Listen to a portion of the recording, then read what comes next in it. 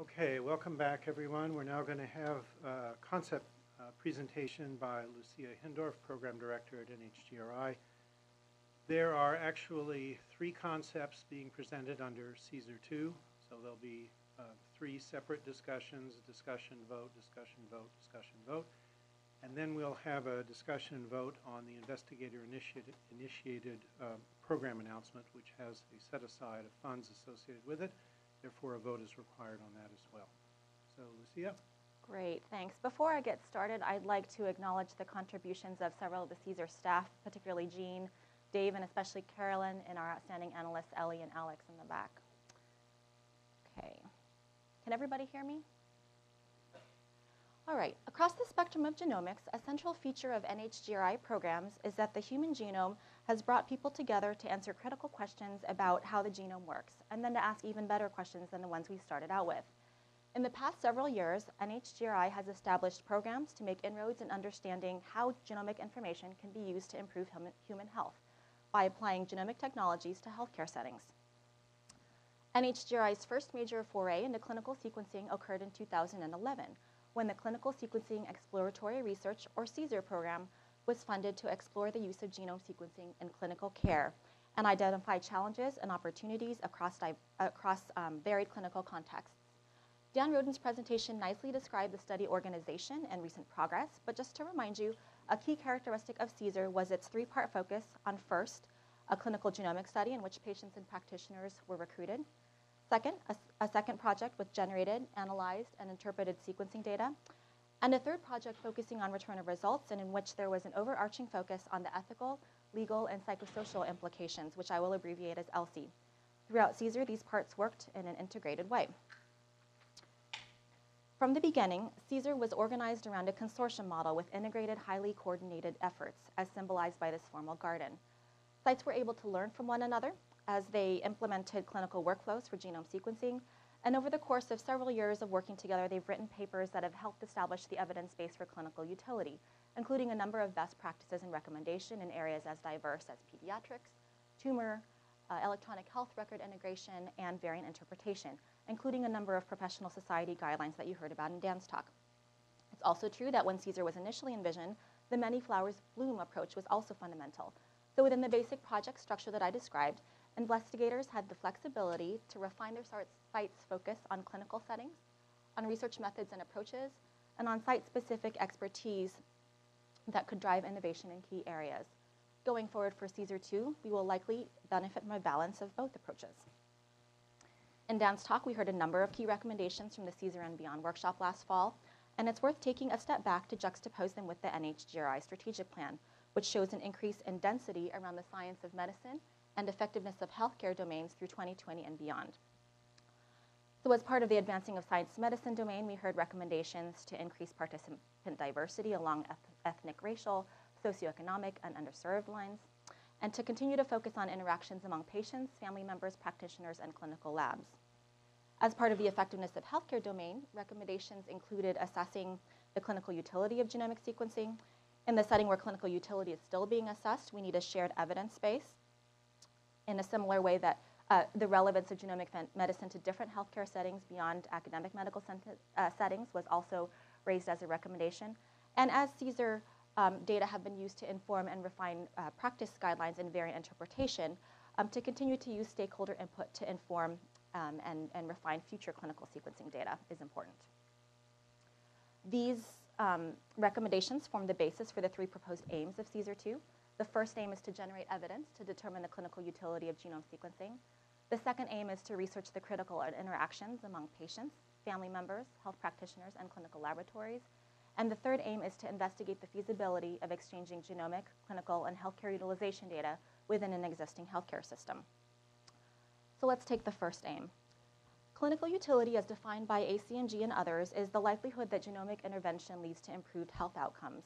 Broadly speaking, this includes diagnosis, treatment, management, or disease prevention that will benefit a patient or his or her family members. Assessing clinical utility is inherent to understanding how ge genomic information benefits human health and is thus already an indirect focus of many NHGRI programs. However, there is not yet consensus on what measures of clinical utility to use for decision making.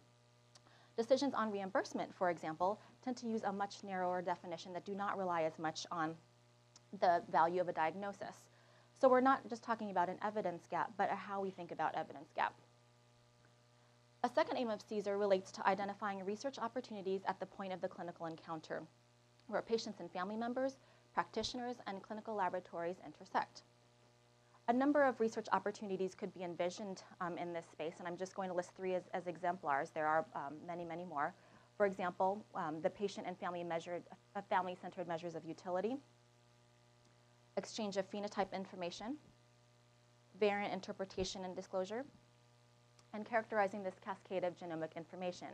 This latter finding refers to that, um, um, the process that occurs when a genomic finding ends a diagnostic odyssey. It can often begin a cascade of additional medical and other consequences, as well as implications for um, family members. I would like to note that these topics leave room for flexibility for investigators to propose research topics that are relevant to their particular clinical setting. Again, tying back to the balance between the consortium and site-specific eff efforts. We imagine, as was true for CSER 1, that the rich integration of ELSI will continue throughout each of these domains. Um, as I've mentioned, um, promoting interactions among these groups is critical, but so is doing so in the context of the healthcare system. Related to the healthcare system, a third aim of CSER 2 will be to investigate the feasibility of exchanging genomic, clinical, and healthcare utilization data within existing healthcare systems. This is an area in which the spectrum of clinical settings across CSER, for example, in healthy and diseased individuals or in pediatric and adult populations or in academic or community settings, those um, differences lend themselves well to an effectiveness approach, which um, study real-world settings comparing, compared to an efficacy approach under highly controlled or idealized research settings. Um, this is really to get around the problem or to, to help ameliorate the problem of having silos. So genomic data are often siloed from EHR data, as was described in a joint paper between CSER and eMERGE. Clinical data can be siloed in research databases or patient registries. And healthcare utilization data are often siloed in, in um, systems related to billing. Data exchange to unify data across silos is important to being able to accomplish the first two aims of CSER. For CSER 2, that we propose that this be implemented iteratively within an individual healthcare system. The idea being that a genomic finding um, that, that um, shows some sort of benefit for patient care might be useful for other subsequent patients. But this works best if the system can iteratively incorporate and learn from that initial information. Many of the challenges of implementing this model um, are likely to be institution specific, so that's why we're proposing this aim for feasibility. Um, use existing standards, however, and common standards across uh, consortium sites will be strongly encouraged wherever possible. To enhance the applicability of evidence that CSER 2 generates beyond um, um, specialized medical centers, we are going to rely on two key components. The first we've heard a lot about um, today. Um, it, it, has to do with the topic of diversity. So here we um, will rely on increasing participant diversity as well as including clinical settings outside academic medical centers. CSER 2 will deliberately engage stakeholders such as professional societies, payers, regulatory agencies, and patients, all of whom have a stake in the type of evidence that CSER will be generating. Such buy-in will generate evidence and best practices with a high likelihood of adoption as well as keep CSER 2 outward-looking and cognizant of other efforts. So if the program is successful, we will be able to bridge the how we think about evidence gap and say that we did this work intentionally, including diverse individuals and stakeholders. Okay, so now, so now we've covered the why of CSER. Let me transition to how we plan to do this work. So we're proposing a series of three RFAs um, and also a, a program announcement with set aside, which, as Rudy mentioned, we'll talk about after the RFAs. The clinical site RFAs collectively um, have similar goals and will study 10,000 diverse patients across CSER 2. Each site will recruit, sequence, and disclose results to patients within the context of the healthcare setting. Um, we would expect sites to include comparison genomic modalities to evaluate the clinical utility aim, for example, comparing whole exome to gene panels. Existing data would be permitted with caveats, so for example, existing sequence data um, could be included as long as investigators could demonstrate um, that they were addressing all three aims. This might be also an opportunity to part encourage partnerships with other existing resources um, that have diverse data, which will be important in just a minute. Um, it will be crucial to establish multidisciplinary teams as well. So investigators will be expected to include a broad degree of research and clinical expertise to integrate ELSI throughout the three aims, to um, foster a collaborative environment where idea and data exchange works well within sites as well as across them, And then also, um, sites will, will um, propose ideas for stakeholder engagement, whether that's having stakeholders as co-investigators on grants or um, as members of um, advisory panels or steering committee meetings or other ideas that uh, investigators may have. Okay, so um, we've heard a lot about diversity today, and, and I want to be clear about what I mean about participant diversity. Um, for this presentation, I'll be referring to race or ethnic, socioeconomic, or underserved distinctions. Each site will be, each site will be um, addressing one or more diversity-focused research aim in these subgroups. For example, looking at differences among them in the disclosure and interpretation of genomic results, differences in disease presentation, diagnosis, and healthcare implications, uh, novel methods for healthcare delivery in, in um, challenging or underserved populations, and other relevant areas. We're proposing two RFAs with different thresholds for the per percentage of participants um, from diverse populations. The first RFA, which we're referring to as general clinical sites, will be strongly encouraged to recruit 25% or more of their participants from diverse populations. The clinical sites with enhanced diversity have a higher threshold of 60% or more. And the rationale for splitting out the two RFAs um, is twofold. First, it gives us some, the flexibility to assign a separate review panel for the enhanced diversity sites. And it also um, addresses what we know to be logistical and practical challenges in recruiting and retaining individuals in challenging settings. And so the second RFA um, is proposed to have an up to a 20% increased budget cap to uh, help investigators plan for those challenges. Okay, to get a sense of what is possible in a program of the size that we're proposing, we did some thought experiments and power calculations for individual sites. So keep in mind that part of the goal of CSER 2 is actually to define and assess relevant measures of clinical utility, so the exact measures are not known. These are the examples. So if you take the 10,000 participants that are assumed across CSER 2 and you divide by 9, which is the midpoint of the range of the number of sites we're proposing, you get 1,100 participants per site. Um, assume that they would come from a, a spectrum of real-world clinical settings, um, adults and children, for example, um, and that each site would be well poised to look at disease-specific analyses or site-specific measures. So for example, a site could look at the difference in disease diagnostic rates comparing whole genome sequencing to standard of care. So with 1,100 participants, there would be 80% power to detect a comparison of 25% in whole genome, which is a diagnostic rate that's seen in CSER and elsewhere, compared to 18% or lower in standard of care. So that's an absolute difference of at least 7%. A site could look at whether the actionable finding rate differed between whole exome and panel testing. So um, it would be powered to detect a comparison of 45% in whole exome, which was the rate from the paper that Eric mentioned this morning, compared to 37% or lower in panel testing. So that's an absolute difference of 8% um, or more. So I want to stress the importance of doing this across multiple sites we could then compare each of these kinds of um, analyses across, for example, adults and children, across disease A, disease B, um, different ethnic groups, um, et cetera.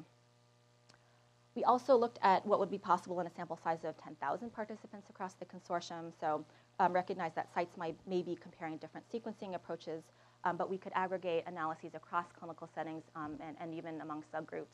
Um, such outcomes might include rarer outcomes that could be evalu evaluated consortium-wide, as well as the standardized or aggregated measures of clinical utility that I mentioned before.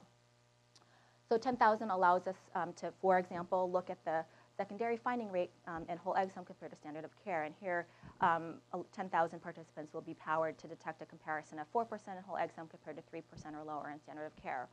So an absolute difference of 1% or more. We could also look at subgroups. So if you wanted to look at the actionable finding rate and how that compared in adults versus children with whole exome sequencing, this sample size would be powered to detect a comparison of 45% in adults compared to 41% in children. So that's an absolute difference of, of 4% or more. Speaking along the lines of CSER 2 wide opportunities, one key component of this, of this is going to be this uh, coordinating center or the CC. We're going to continue to need scientific and administrative coordination to facilitate CSER 2 efforts, for example, aggregating data, to disseminate resources and best practices, to respond um, to opportunities to which CSER 2 could uniquely contribute. So it's hard to know about them in advance, but they could include things like professional society guidelines that are either being developed or have just come out. Um, coordination of stakeholder engagement will be crucial. Um, and this is not to displace what any of the individual sites would do, but for example, if there were multiple cancer sites, it might make sense to coordinate outreach to AACR or, or ASCO um, in, a, in a more central way across sites. And then finally, we would rely on the CC to organize steering committee meetings, working group, and stakeholder meetings. Okay, so now let's take a look at the, um, the table again with the proposed budget. So For the general clinical sites, we're proposing an annual budget that's about the same as what the current CSER sites are being funded at. The enhanced diversity sites, as I mentioned, would be um, um, given up to a 20% increased budget cap, and the coordinating center is proposed for um, a slightly higher budget than they have now to account for um, increases in um, stakeholder um, engagement, increased expectations for stakeholder engagement, as well as an additional consortium meeting. Um, I should note that we are seeking support from other ICs uh, for co- co-funding and have had some very encouraging discussions. So where possible, we, we hope to um, have some buy-in from other institutes.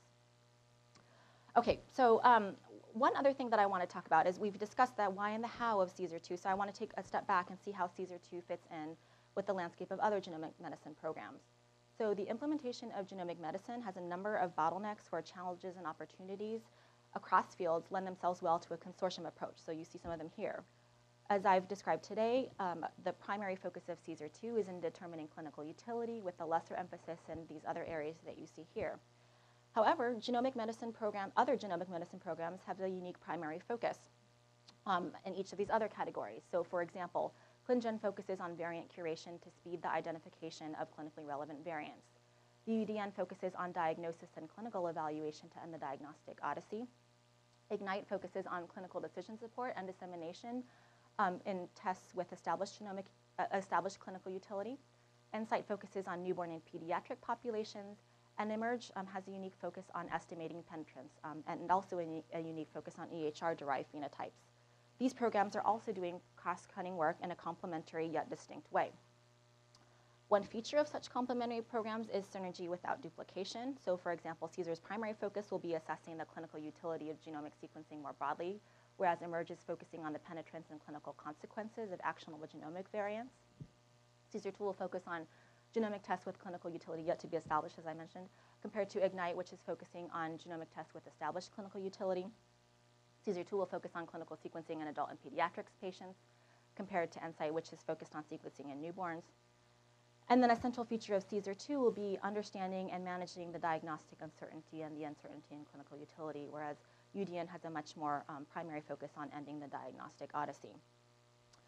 Okay, so now we've, we've kind of um, taken a look at why and how of CSER and looked at how CSER fits in with the other genomic medicine um, programs. I'm going to show the three CSER 2 aims here briefly before we move on to our discussion.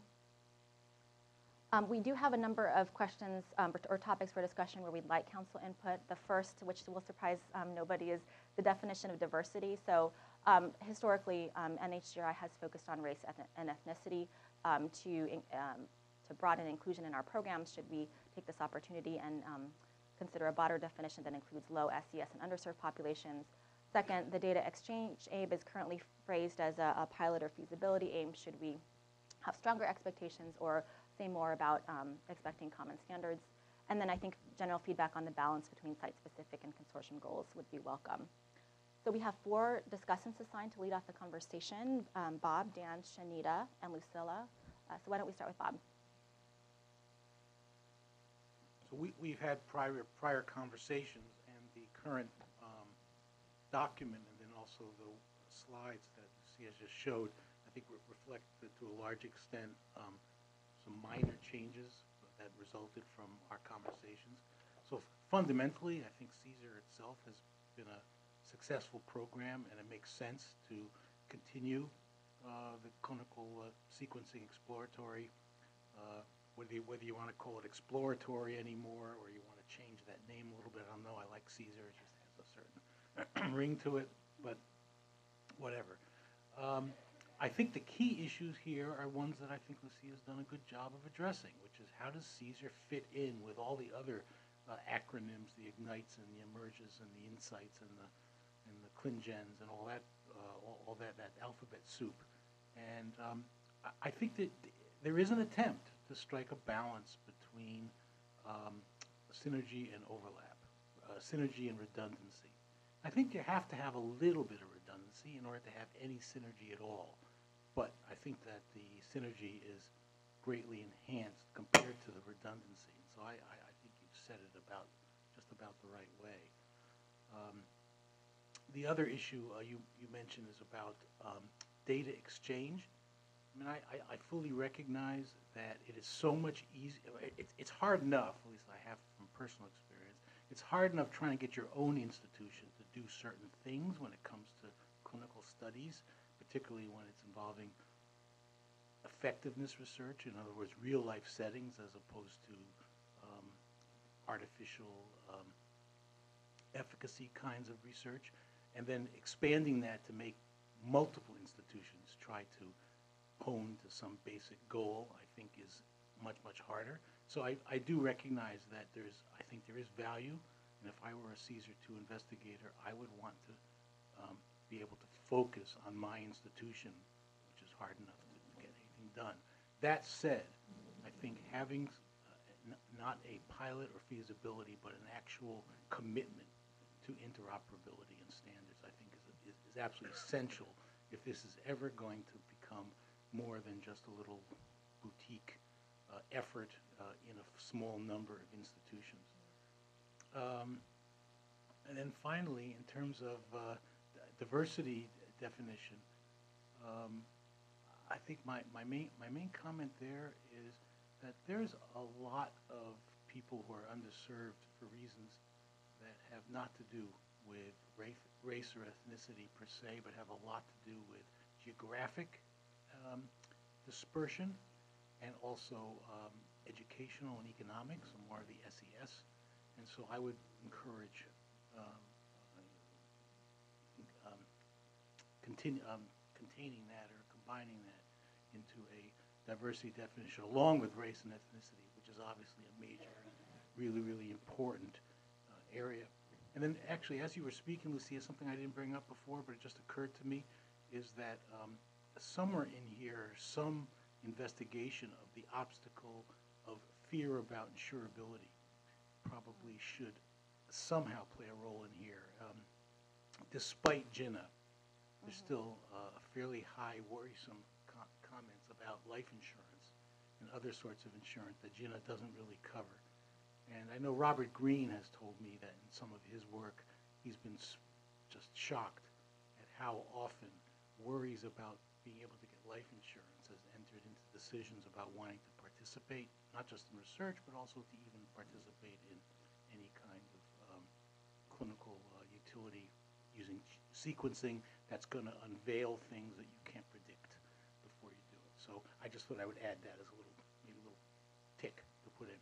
But, I mean, all, all in all, um, um, I'm, I'm, I, think the concept is a, is a good one. I, I think it's something that needs to be done, it should be done, um, and will synergize with the other programs.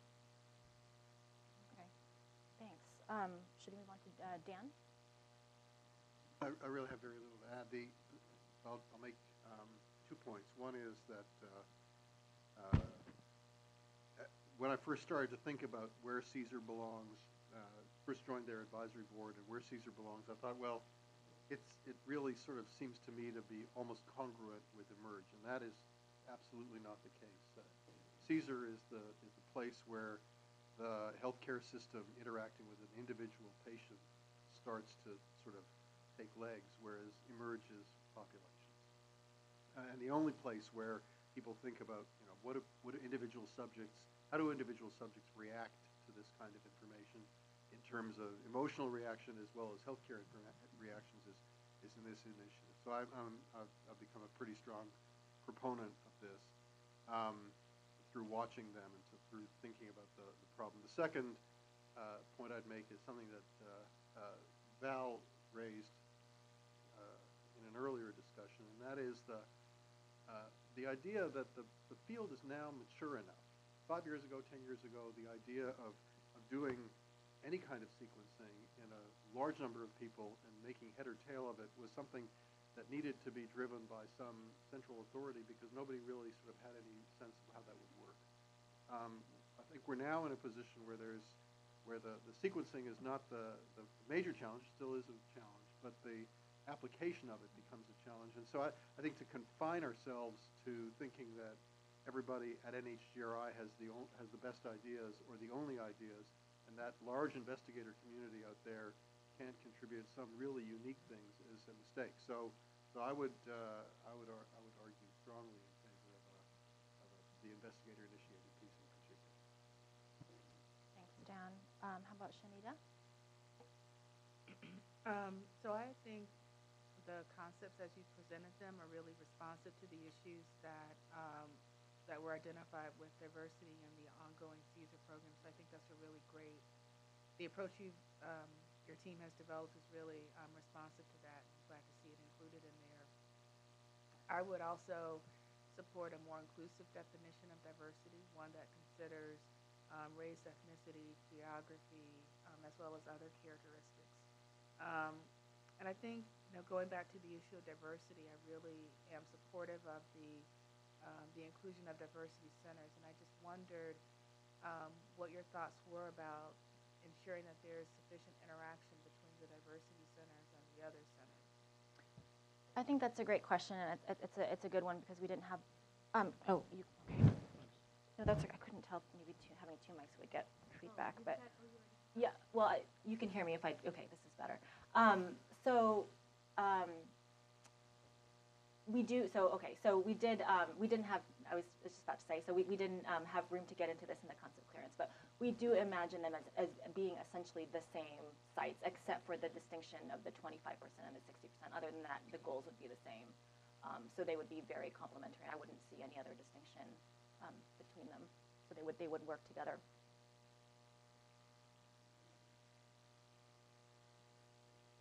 um, let's see lucila Yeah, uh, as for, for the questions, I would say all of the above. They're all important, uh, and I would support all of them. The, the one thing that it's still a little confusing to me is um, that slide that emerge is not anymore dealing with clinical decision support, uh, because I, I, I think it, it does to, to a, a large extent still. And I think that's a major strength of synergizing, because to my understanding, Emerge is converging to a standard in terms of electronic health record um, and so on. So, so it would be better to have uh, both follow the same standard uh, to the extent possible, and then also uh, use the lessons learned in Emerge, and, and particularly clinical decision support is hard, and it's hard to implement on, on the commercial vendor systems that we have out there, but to try to push the envelope towards uh, that direction. Um, as I uh, mentioned before, I think the, the, the secret is how to get the RFA right so that um, the, the um, greater than 20, 25%, greater than 60% is well defined, and there is a rationale for, for um, what's expected in, in, in how it is uh, monitored because it will be hard to to monitor this over time, right? And uh, and again, as I mentioned before, I, I think the R01 concept is very important, the investigator initiated, uh, but I would say, you know, that it could be broader than than what was uh, um, presented in terms of seemingly too prescriptive, and it has to be the variance that the CSER found and, and things like that. So, so those were my main comments. Oh, okay, thanks. Um, I take all of those points. I will mention that the the, um, the figure that I showed um, did show, I think, the primary emphasis on clinical decision support and dissemination for the Ignite program, but the other programs also have an emphasis in that. I think Emerge would also say that it's doing clinical decision support. CSER, some, some even current CSER has a little bit of, Yep. of that. Yeah. Do you want to come? Not anything context. I just think because it's come up a couple times, we are going to have a separate discussion about the investigator initiated. So it's, you know, I don't want to, a couple people have mentioned that, and I just want to point out that we will be discussing that more. Thanks, Carolyn. Um, comments from other council members? Do you want to?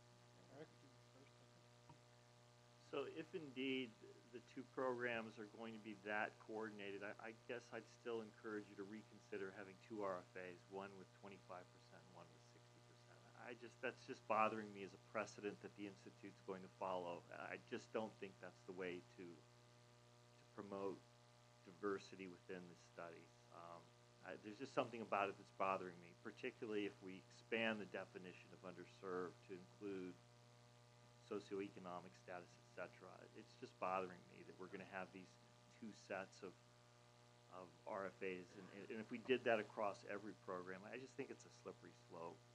That's one kind, and then I'll be quiet. And then the second is, I actually didn't have many questions until your presentation, that your power calculation, and I apologize for picking on power, ca- it assumed that there was eleven thousand people, that's, that was across all of CSER, right? And, and I, I doubt if there's a shared single hypothesis and method across every site that you're gonna do a unified power calculation. I realize that's quibbling, but on the other hand, I, I would just avoid the inclusion of power calculations. It's, it's, it's, it's, it's bad enough that the investigators have to do them in their grants. I, I, I, I would hate to see, I would hate to see council, um, have to do formal power calculations The dangerous with new precedent. Uh, um, I, I, I will say though that so I, I completely take your point about the measures being different. I, I will say in current CSER, for example, the psychosocial outcomes and measures group, even though they're all using different instruments, there are sort of aggregate measure, measures like you know is there is there harm um, is there patient harm being done you know that can be aggregated across, and it was that sort of general. Um, um, measure that I was referring to, but yeah, I, I take your point. And then, and I think about the, the, RFAs. I, I think it's a good point as well. One thing that I, I recalled from our um, our pre pre um, council kind of uh, concept development discussions was some some individuals I think were concerned that even a single threshold, say 60%, would be challenging um, to me. I think there were some concerns that that just might not be feasible. Um, and you know, I, I guess I, I welcome council input on whether that that um, threshold, um, you know, if we were to pursue a single RFA, would be too high. You know, I, I think that was one of the reasons why we decided to keep them separate was provide an incentive for some studies to go higher. I mean, it, I, I think we could have gone either way. Yeah, I'll be quick, but I, um, I think that it's very laudable that, and I don't think it's out of the realm of possibility that people will be able to guarantee that kind of percentage. I also, I just wanted to say, I think this makes very clear um, that you're not talking about ancestry populations here. You're really focusing on disparities populations, and that that's not just race ethnicity. It includes a number of other features which have been already mentioned. So I think that's awesome as well. I would very much support that. So just get your thinking on this, there's two ways to handle a question like how do you define diversity? One is to wrestle with it and put it in the RFA, and the other is to open it up to the applicants, which gets messy, but you get the best, you get interesting ideas that way.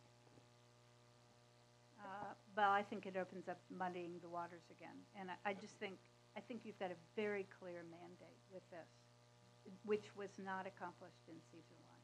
And um, to the, and so I would, I would advocate being even more specific about the kinds of things Jim mentioned, which we had seen as falling, up, you know, falling down in our, despite our best efforts. So, I don't know. Sorry. Well, I feel really strongly about it. I asked the question, and you answered. See, I wanted to comment, you, you, you put something in there about the coordinating center being responsible for helping to disseminate information to, um, professional societies and to, to try to br- bring them on board.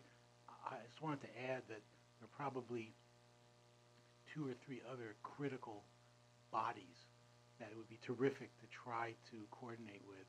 One is the Blue Cross Blue Shield Technology Assessment Group, and the other is the Molecular Diagnostics uh, Tech Assessment Group out of Palmetto, which is one of the contractors for uh, Medicare. Okay. Thanks for that suggestion.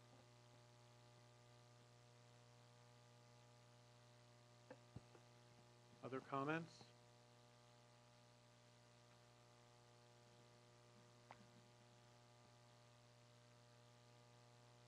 Someone coming to the microphone here.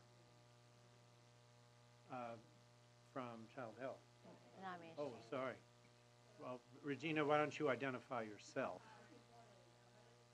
Your microphone is not on.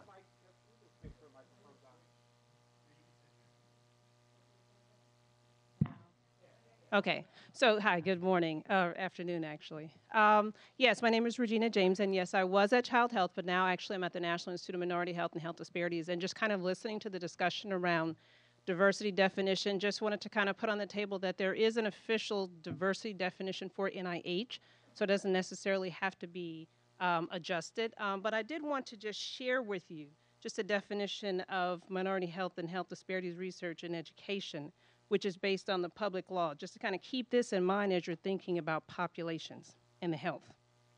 So, despite notable progress in the overall health of the nation, there are continuing disparities in the burden of illness and death experienced by African Americans, Hispanics, Native Americans, Alaska Natives, and Asian Pacific Islanders compared to the U.S. population as a whole. The largest numbers of the medically underserved are white individuals, and many of them have the same healthcare access problems as do members of minority groups. However, there is a higher proportion of racial and ethnic minorities in the U.S. represented among the medically underserved. And this is based on the Public Law 106525. So, with this discussion that you're having around focus on race and ethnicity, whether you should or shouldn't, what is the definition of diversity? All those are really spelled out. And I guess the real question is what is the research question that you're really trying to get at, and not necessarily trying to change the definitions? That's it.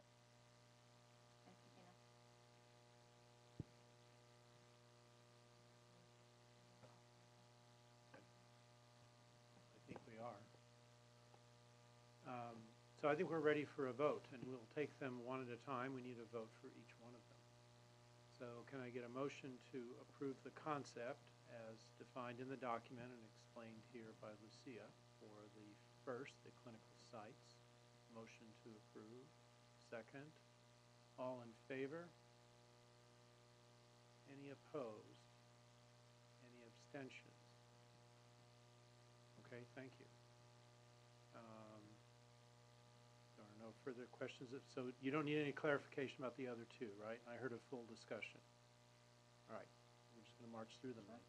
So a motion to approve the second concept for the clinical sites focused on diversity uh, participants. A motion to approve. A second. All in favor? Any opposed? Any abstentions? Thank you. For the Coordinating Center, motion to approve. Second, all in favor? Any opposed? And any abstaining? Thank you very much. Thank you very much. All right, so Okay, move so on now to we'll the do- I'll do the investigator